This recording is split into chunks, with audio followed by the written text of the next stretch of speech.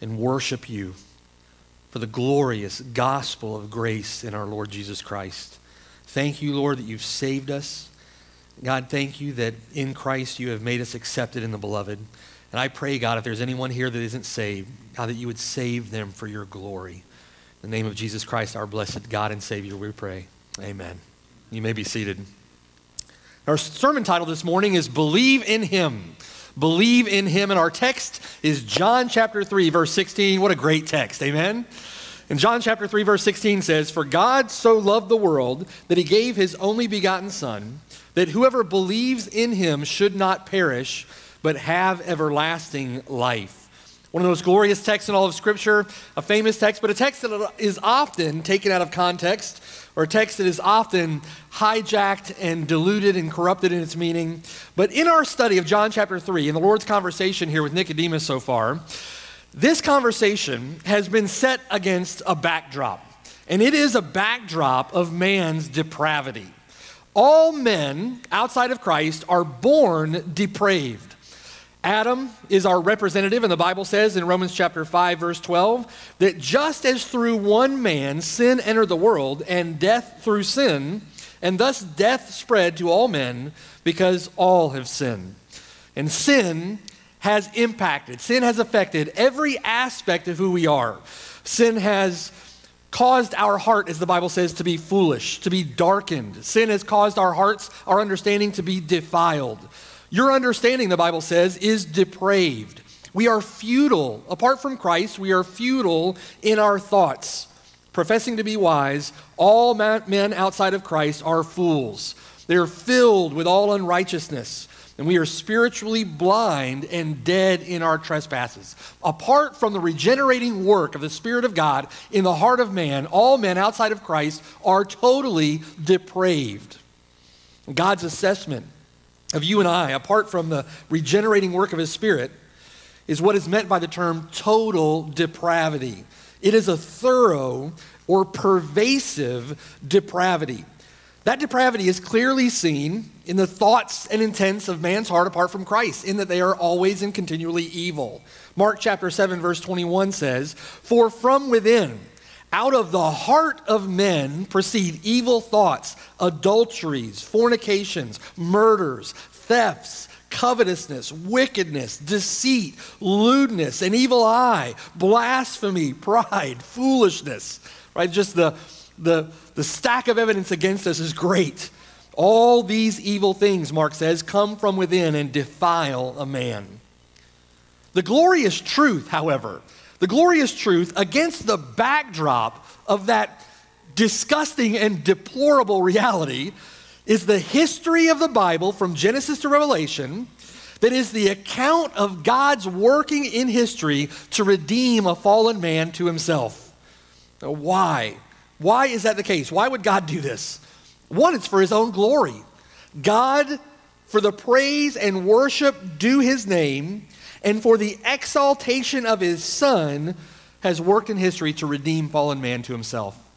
But secondly, it's because the Bible says and the Bible teaches that God is love. That God is love. This is not a, a sentimentalized or sappy or superficial kind of love. This is a love that is governed by God's perfect holiness. It is a love first for his own righteous character his own divine justice. It is a love that is first concerned with his own glory. It is a love that would not settle for anything less but that God would be just and that God would be holy and that God would be glorified.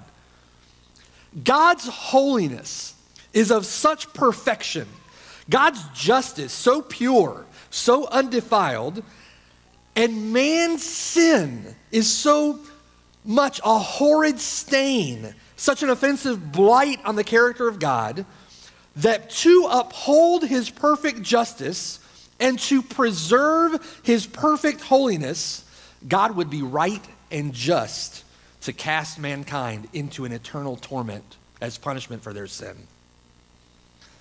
But the history of the Bible, the history of the Bible from Genesis to Revelation, is not a story of a hopeless condemnation. Amen? It's not a story whereby God only vindicates his holiness and justifi- justice by glorifying himself in man's eternal punishment. The glorious truth of the Bible is that God, from Genesis to Revelation, has been working in history to reverse the human tragedy of sin and to provide a means by which we may, may be saved. It's for our good, it's for His glory. That's great love. Amen. It's a love that upholds God as just, but it's also a love that upholds God as the great justifier, all in such a way that God alone gets all the glory. There's only one way that that could be done. It's only one way, one way alone that God could be just and the justifier. It would take an immeasurable love, it would take an indescribable gift, and it would take an indestructible faith an immeasurable love, an indescribable gift, and an indestructible faith. First, an immeasurable love. A love so immeasurable as to be thoroughly and completely unconditional. A love so great that flowing from it would be grace and mercy and kindness and compassion and patience, all toward those that are thoroughly and completely undeserving in every way, enemies of God by their wicked works. But secondly, that immeasurable love results in an indescribable gift.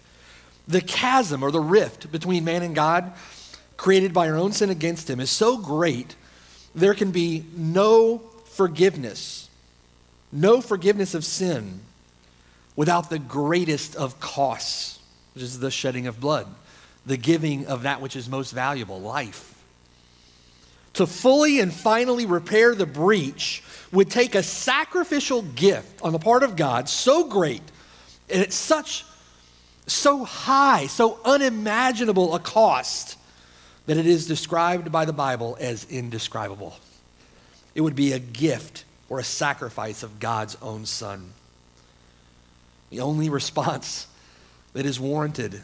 The only response possible to uphold the justice of God, to uphold the holiness of God, that is born out of the love, mercy, and grace of God, is a response in faith and an indestructible faith. This great salvation would have to be so completely the work of God alone that it would render man unable to boast of anything. And that God, whose chief consideration is his own glory, would have all of the glory to himself. The only appropriate response is a God gifted, God empowered, God preserved faith. Now, all of these points, think about it for a moment. This immeasurable love of God, that indescribable gift, that indestructible faith, the, the glory that is the gospel of the Lord Jesus Christ all explained beautifully in one simple but extraordinarily profound verse. John chapter 3, verse 16. For God so loved the world that he gave his only begotten Son, that whoever believes in him should not perish but have everlasting life. Martin Luther called John 3:16 the gospel in miniature. God is the master of understatement the master of, of, the economy of words. So much profound truth packed in such a few words. We could spend weeks and weeks and weeks talking about this verse alone. It's glorious. So, how are we to respond to these glorious truths? How are we to how are we to respond? How are we, how are we think about these things? Maybe you've heard a, um, a great piece of music and you've had your heart stirred, right? Your emotions stirred. You think about that great piece of music, maybe you listen to it over and over again because of the way that it makes you feel. Gospel's nothing like that. It should stir our emotions, it should stir our affections, but it should change our life. Maybe you've seen fireworks before, right? You just awed by the fireworks. You leave the fireworks display just thoroughly impressed, and you go back to your life as it once was, we should look at the gospel and be impressed. We should look at the gospel and just glory and how wondrous it is. But it should transform who we are. We're not to just sit back and simply ponder the love of God, how great God is, and what God has done. We should respond with faith and be transformed by the power of the gospel. You must believe in him. This glorious gospel, these glorious truths demand that response. It is the only appropriate response. You must believe in the Lord Jesus Christ. John writes this gospel, penned these words, that you might believe that Jesus is the Christ, the Son of God, and that believing you might have life in his name. This belief in Jesus Christ is not merely mental, it's not merely intellectual, it's not merely and only emotional. Believing here is the way the Bible communicates genuine saving faith. You must entrust yourself to Him for salvation. You must entrust yourself to Him in order to follow Christ by faith. And we'll see that as we get into our text.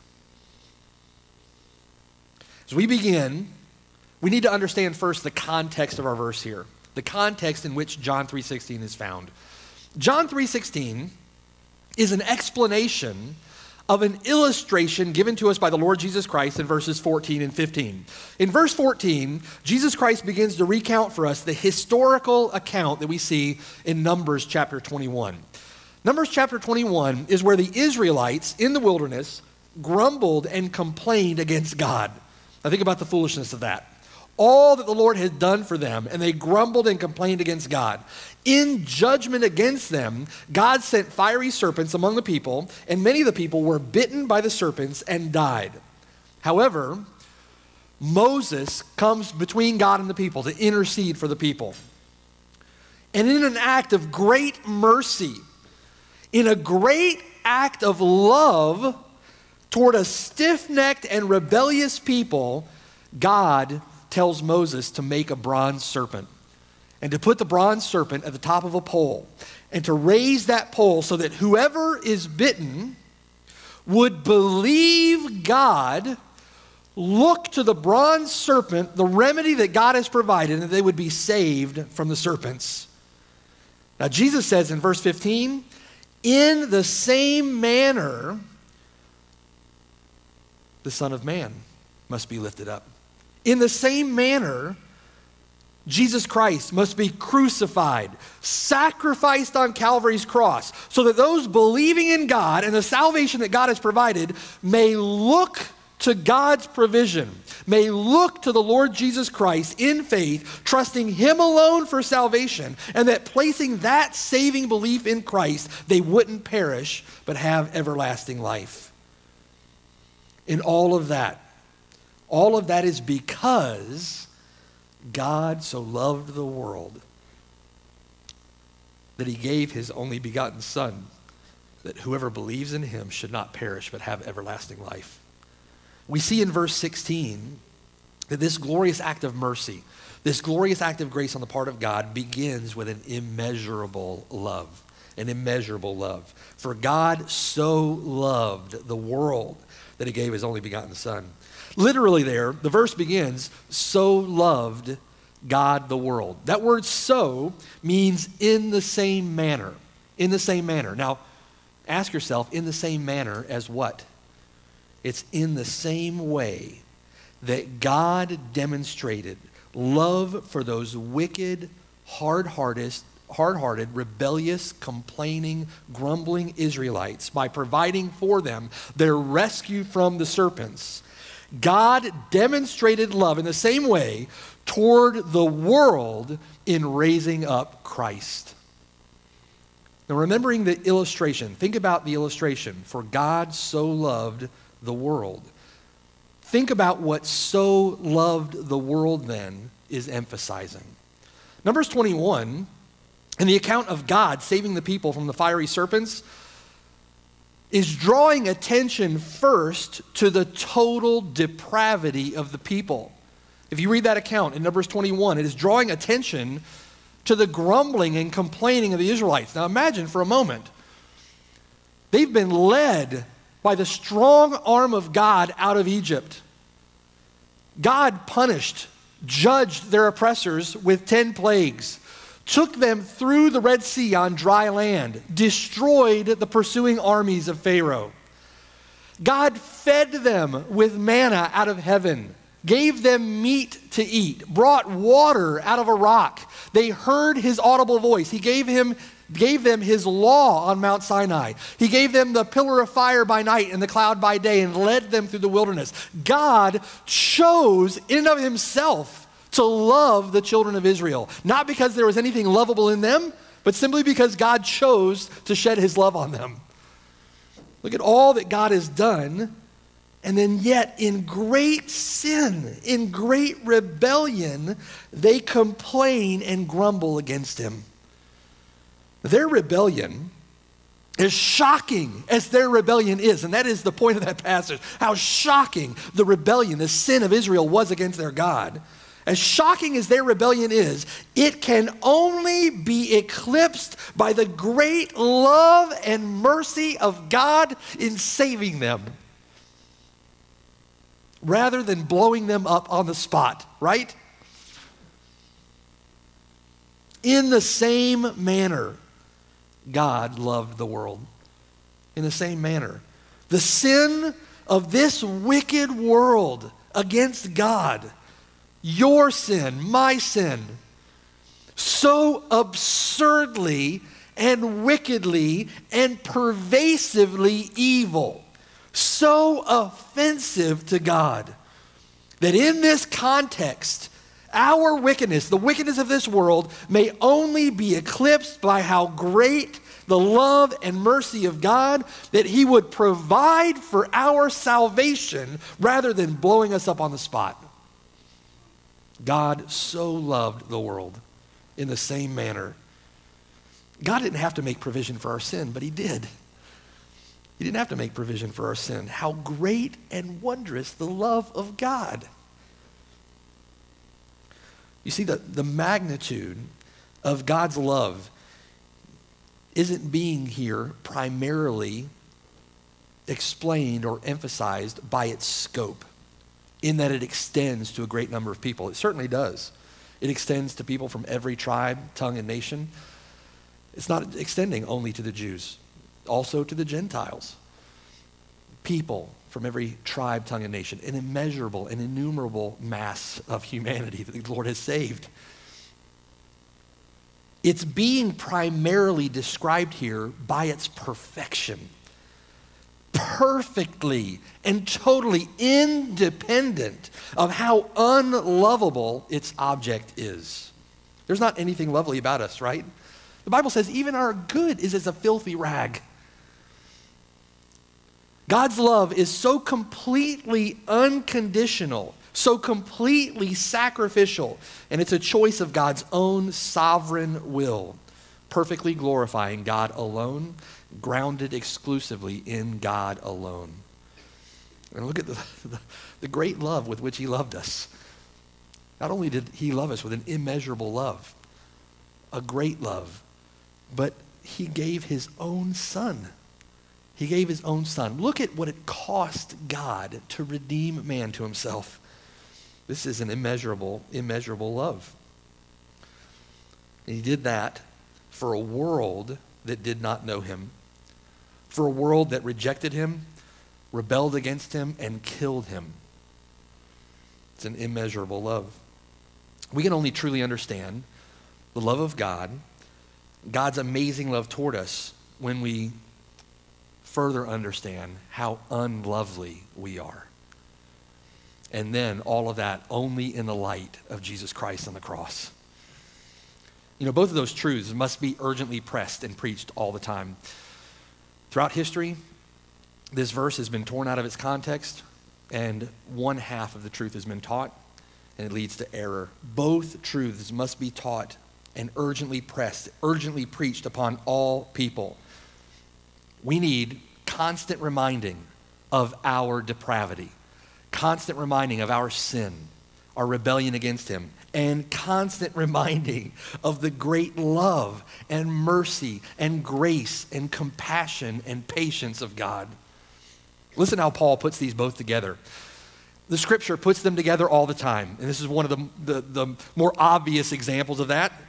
in Titus chapter 3, verse 3, Paul says to Titus, For we ourselves were also once foolish. Now listen to the diagnosis of man.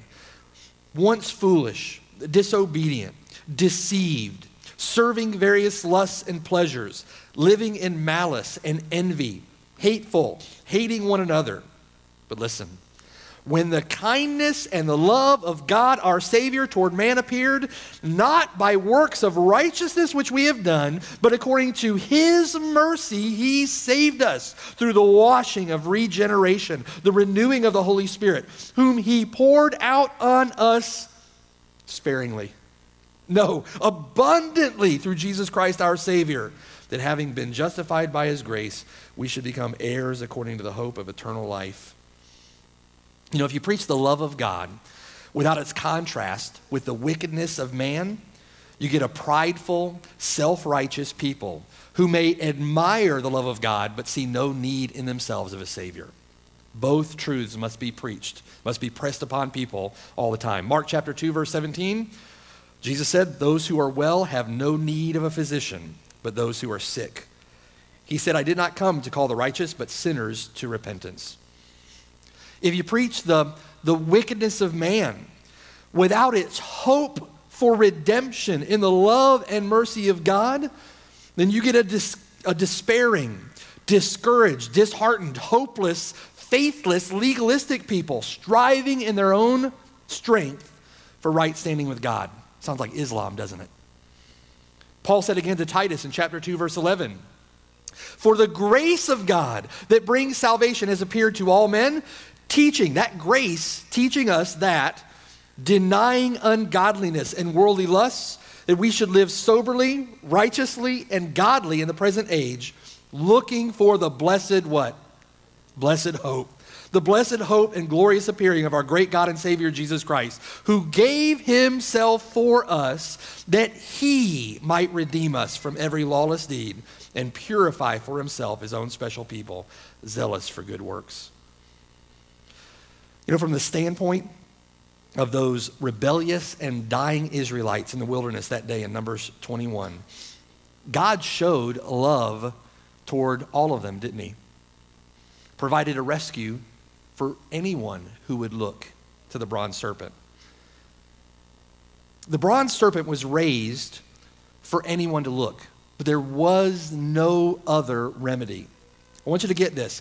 It was an act of mercy toward all of them, whether they looked or whether they didn't. Whether they believed in God, whether they trusted in the provision that God had sent, or if they didn't. Here in John chapter 3, verse 16, this love of God is said to be directed to the world in the same way. There's much error in thinking, in theology, with respect to this verse, we need to be clear about this. The world here in John chapter 3, verse 16, in context, is the mass of fallen and lost humanity. It is a general term, world is, a general term used for humanity, fallen humanity, in a general sense. This is the world of chapter 1, verse 10, that did not know him, made up of lost people. This is the world of chapter 3, verse 17, that his son was sent into. This is the world of chapter 3, verse 19, that the light has come into, where men love darkness rather than the light. This is what is referred to by the world in John chapter 3 verse 16. There are two errors that people often come to when they consider this verse. One is that God loves only those who believe. And he hates everyone who is lost. That he has only hatred for the wicked and only love for those who believe. That's one erroneous way of thinking. The second is that God loves everyone indiscriminately in exactly the same way. Now, it's biblically true. And I want us to understand this. It's biblically true that God hates. Jacob I have loved, Esau I have hated, right? Romans chapter 9, verse 13. In Psalm chapter 5, verse 5, the Bible says that God hates all workers of iniquity. In Proverbs chapter 6, Verse 19 God hates the one who sows discord among the brethren, and he hates the false witness that speaks lies, and so on. However, we got to understand it is also equally true that God shows love and compassion toward lost people. In Mark's account, remember, of the rich young ruler, in Mark chapter 10. Very interesting. Tucked away in verse 21, Mark says in 1021 that Jesus, in speaking with the rich young ruler, a lost man, that Jesus loved him. And in an act of love, he's sharing the gospel with him. The second great commandment is what? To love your neighbor as yourself. In Luke chapter 10, a lawyer wanting to justify himself asked Jesus then, Well, who's my neighbor? And what did Jesus do? He told him the parable of the Good Samaritan. In the parable of the Good Samaritan, who was his neighbor? Everyone. Whoever he came across. Anyone he came across was his neighbor. Jesus himself said that we're to love our enemies, right? In 1 Timothy chapter 2, we are to pray for all men, which is good and acceptable in the sight of God, who desires all men to be saved. It is the desired will of God that all men are saved. God has two desires a will of desire and a will of decree. In God's will of desire, He desires that men are saved. God says He takes no death, no, no pleasure in the death of the wicked, takes no pleasure in the death of one who dies, but that that wicked man would turn from his wicked ways and live. It is the love and compassion of God that wicked men would repent. Finally, there's no greater act of love than the giving of the gospel. No greater act of love than the gospel. God's offer, free offer of the gospel to all men everywhere is a glorious act of love toward them. God doesn't do this in condemnation. If you've been here week, after, week in and week out, and you've heard the gospel time and time again.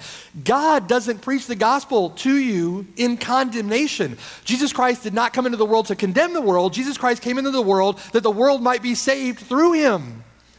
It is a great, great, an act of grace, an act of mercy, an act of love on the part of God to spread the gospel. He offers the gospel freely in love and commands all men everywhere to repent. This is a loving act. Doesn't Paul say to the Corinthians, you are to plead with lost people as though God were pleading through you? That is a heart of love, a heart of compassion on the part of God towards those who are lost that need a Savior.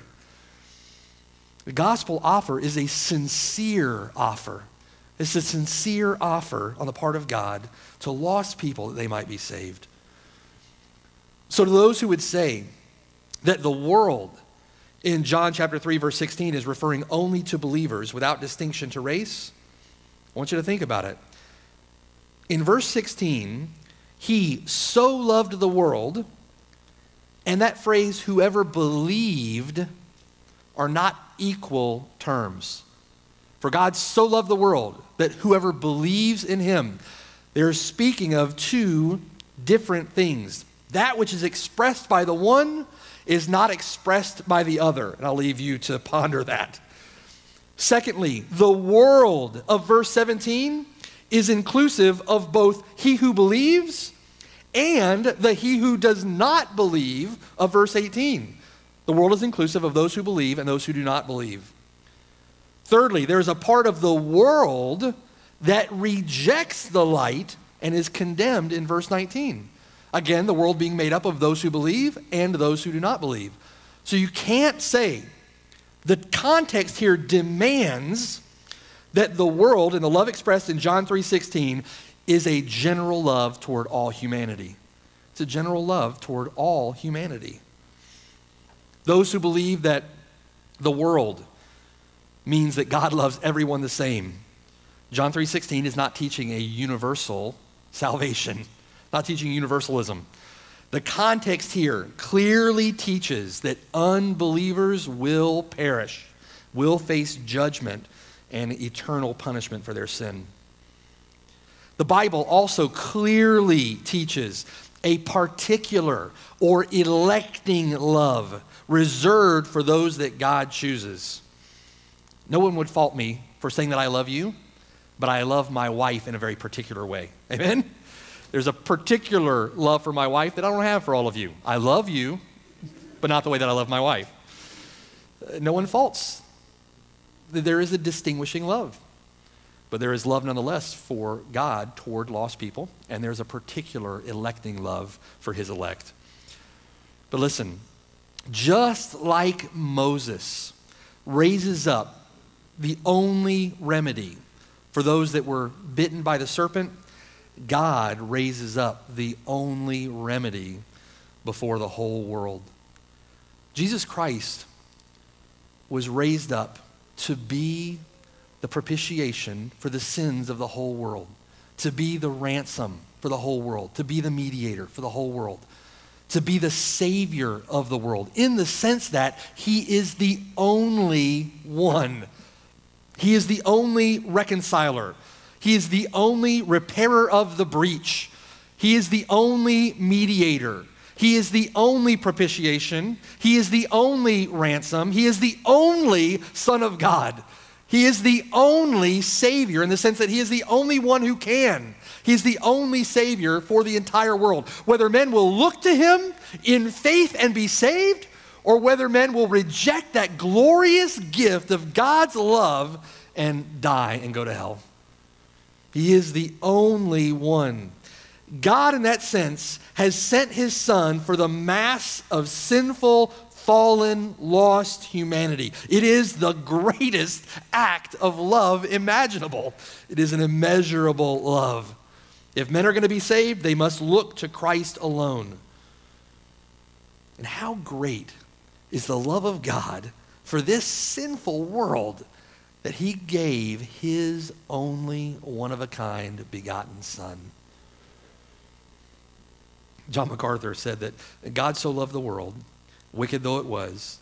And despite the fact that nothing in the world was worthy of his love, he nevertheless loved the world of humanity so much that he gave his only begotten Son, the dearest sacrifice that he could make. I would submit to you that is an understatement so that whoever believes in him should not perish but have eternal life. The end result of God's love is therefore the gospel message, the free offer of life and mercy to anyone who believes. In other words, the gospel. An indiscriminate offer of divine mercy to everyone without exception manifests God's compassionate love and unfeigned loving kindness to all humanity. It is a great love immeasurable love. That is the love with which he's loved us. You know, that hymn that we sang, The Love of God, it's written by a man named Frederick Lehman. And the third verse is just staggering in its thought, in its scope. Could we with ink the ocean fill, and were the skies of parchment made? Were every stalk on earth a quill, and every man a scribe by trade, to write the love of God above would drain the ocean dry. Nor could the scroll contain the whole, though stretched from sky to sky. It's an immeasurable love. Immeasurable love. You know, just like those Israelites, think for a moment about all that God has done for you.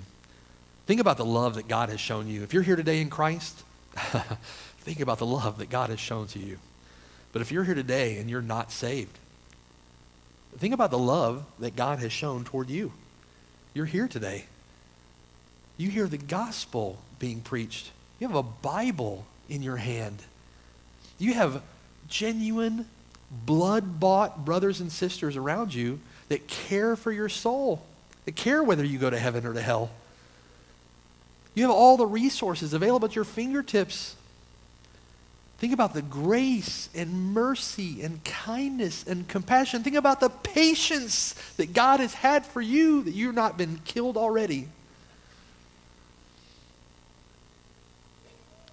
Maybe you think to yourself,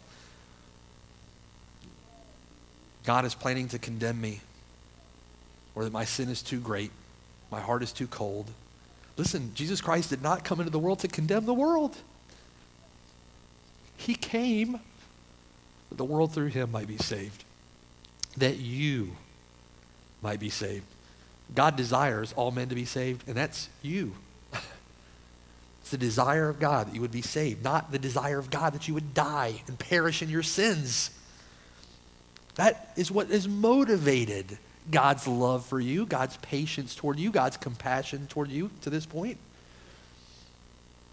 Are you going to grumble and complain against God like those wicked Israelites in the desert? To say that God's brought me out here to kill me and glorify himself in my condemnation? It's not the God of the Bible. He comes to you with immeasurable love in the gospel, and he calls you to repentance, calls you to faith in his Son, that you might believe in him for eternal life. Let me also give you a, a warning in this. There's a warning here. God loving the world is not an excuse for presumption. Don't be presumptuous with God, believing that because of God's love, that you can live in your sin and believe that you'll somehow make it into heaven. Don't be presumptuous with God. You better understand the Bible. Presumption upon God's love will leave you standing before him on judgment day, crying out, Lord, Lord, while he casts you into hell. I was witnessing to a man on the, on the campus last week, and he was banking on the love of God that he could live as he wants to and still get into heaven. Love of God, you know, God's not going to send anyone to hell. But God's love is governed by God's holiness, God's justice. And we'll see the biblical balance of that next week as we get into verses 17 through 21. Second point on your notes it's an indescribable gift. His immeasurable love is demonstrated with an indescribable gift. The greatest gift of God to the world is the gospel, in which God delivered up or sacrificed or endured the loss of. That's what that word means. His only monogenes, radically distinctive, unique, without equal, one of a kind son. The only man who is ever perfectly worthy of God's love. Paul describes it as indescribable, too glorious to be able to be expressed in words. In 1 Corinthians chapter 5 verse 21, God made him who knew no sin to be sin for us that we might become the righteousness of God in him. It is only through Christ that we come to know the love of God and that we come to know God. The word there for only begotten better translated unique or one of a kind. It does not mean that Jesus Christ was created or that Jesus Christ came into being. The Bible never teaches that, and any responsible or reasonable person would see that as error, would see that as a false teaching. Christ's uniqueness is another aspect that points to the greatness of the gift. Jesus Christ was not a created being. Jesus Christ was the incarnate one. As such, he is God in the flesh. When God gave the gift of Jesus Christ, he is giving himself. This is a great gift, an indescribable gift. All the promises of God are yes. All the promises of God are yes and amen in him. Think about your need and think about the gift that supplies that need. You need a perfect substitute. You need a perfect substitute. Jesus Christ is a perfect substitute. No sin, word, thought, or deed lived perfectly satisfying the just and righteous demands of God for holy living. Perfectly lived for God. You need a wrath satisfying sacrifice. You don't want the wrath of God to be poured out on you. The wrath of God was poured out on Jesus Christ. The punishment that you rightly deserve, Jesus Christ, being God in the, in the flesh, was able to endure that eternal punishment in himself on the tree for those that would believe in the gospel. He takes the punishment you rightly deserve. You need someone who can conquer death, who has power over death. And Jesus Christ conquered the grave, conquered death. You need a Savior. Jesus Christ is the only and perfect Savior. It is an amazing gift. So, what will you do? What will you do that that gift now is being offered to you? If you're here today, you've never turned from your sin and put your faith in Christ, what are you going to do? That gift is offered freely to you. Are you going to sit there indifferent? Are you going to sit there cold hearted? Or will you look at the gift? Will you look at the love that is shown to you and be grateful to God and receive that gift trusting Him? Receive that gift in faith, believing in the Lord Jesus Christ. Will you turn or will you continue to make excuses? Don't make excuses. This is a glorious gift. This is an immeasurable love. Follow Christ in faith. Just trust Him. You must believe in Him. And all this, we're talking about faith. Point three is this is an indestructible faith. Whoever believes in Him should not perish but have everlasting life. Hebrews chapter 11 says that without faith, it is impossible to please God. Ephesians chapter 2 says that we are saved by grace through faith. To believe in Him and to have faith in Him are expressing the exact same thing.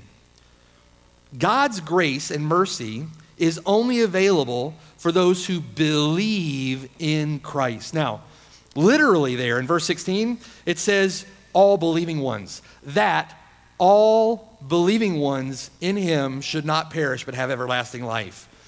This is an ongoing, persevering, continual belief in the Lord Jesus Christ. It's that look of faith, that trusting of Christ. It's that looking to Him, trusting Him alone for salvation. It's that simple reception. But then it's that reception, that belief that bears fruit. Looking at this from a negative perspective, if you believe in Him, you won't perish. That means then that if you are currently unbelieving, you're condemned already. Your default state, your default position is one of condemnation. That's exactly what verse 18 says. It means you are condemned already because of your sin. If you were to die now, then unbelieving you would perish. And as eternal as the life is, that eternal perishing, that judgment is also eternal. It's final and eternal. However, again, the purpose of the Son in his first coming was not to condemn, but to save. To look at this faith from the positive perspective, those who believe in him, who exercise genuine saving faith, will not perish, but they'll have eternal life. There is a promise here to those who believe in him of eternal life. Because it is a promise, it is a guarantee. It's a promise, it's a guarantee, it means you cannot lose it. It is a promise. There's a promise here that those who believe in him will never perish. That means that genuine salvation can never be lost. You can't lose your salvation. Believers will be preserved by God and will persevere to the end and be saved. And they're kept by God's power. This is God's grace, God's love, God's mercy again, and that he preserves those who are his. Listen to 1 Peter chapter 1 verse 3. Blessed be the God and Father of our Lord Jesus Christ, who according to his abundant mercy has begotten us again to a living hope through the resurrection of Jesus Christ from the dead, to an inheritance incorruptible and undefiled that does not fade away, reserved in heaven for you, who are kept by the power of God through faith for salvation, ready to be revealed in the last time. It's an amazing, amazing gift, and it is an indestructible faith. So, what does it mean to believe in Him? What does it mean to believe in Him? This is getting to the very point for which John wrote his gospel. You must, in believing in Christ, you must entrust yourself to Him for salvation. You must entrust yourself to Him for salvation. This is no mere emotional response only. This is a response that is grounded in truth. It's grounded in who Christ is, what Christ has done. It is not a subjective belief only. Our faith is built on evidence, built on grounds of truth, built on objectivity. It is placing yourself completely at the disposal of the Lord Jesus Christ with a spiritual hope, with spiritual convictions rooted and grounded in the Word of God.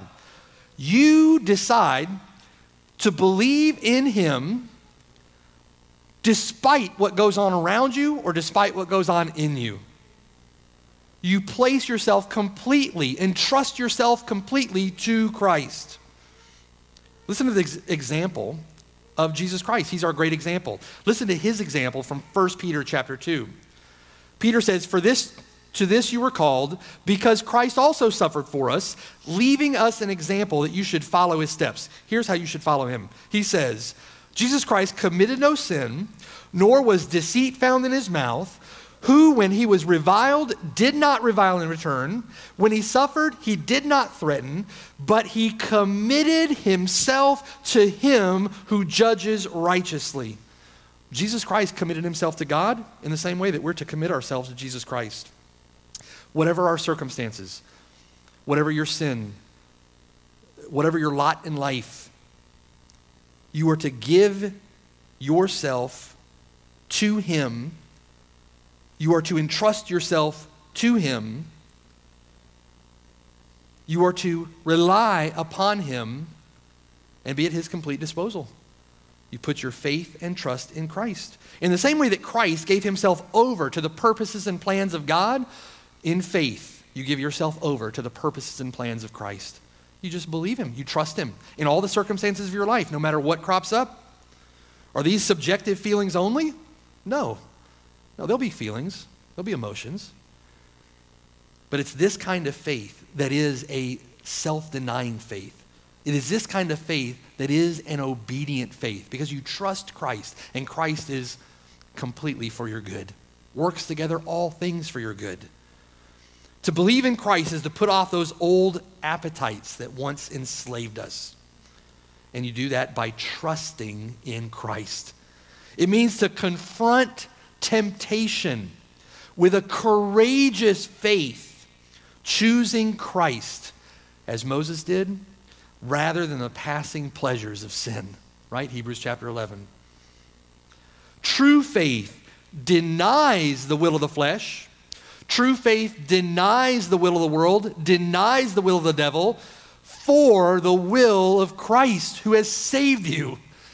It is putting Christ first, preeminent in your life, choosing Christ over sin. It's to say, not my will, but your will be done.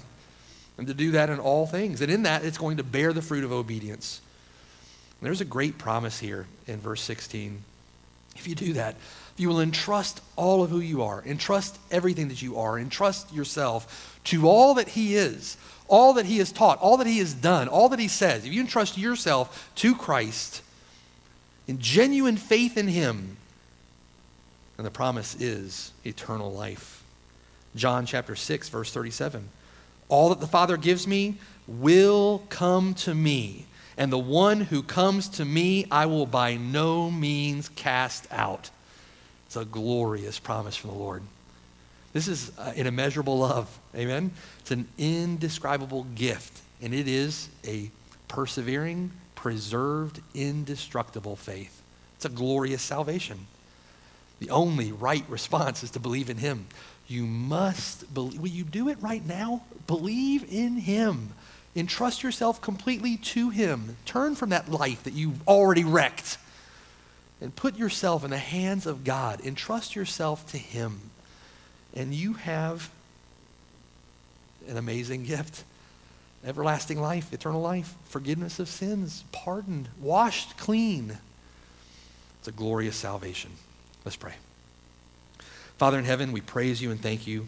Thank you, Lord, for, this great salvation that you've provided in Christ. We praise you. And thank you for the great love with which you've loved us. Thank you, Lord, for this indescribable gift. And thank you, Lord, for granting us faith and repentance Lord, when we were dead in our sins and trespasses, that you caused us by your Spirit to be born again and granted us faith and repentance. God, thank you for the work that you do to redeem us to yourself, that we might be accepted in the beloved, and we might worship and praise you forevermore. For your glory, God, in Jesus' name we pray. Amen.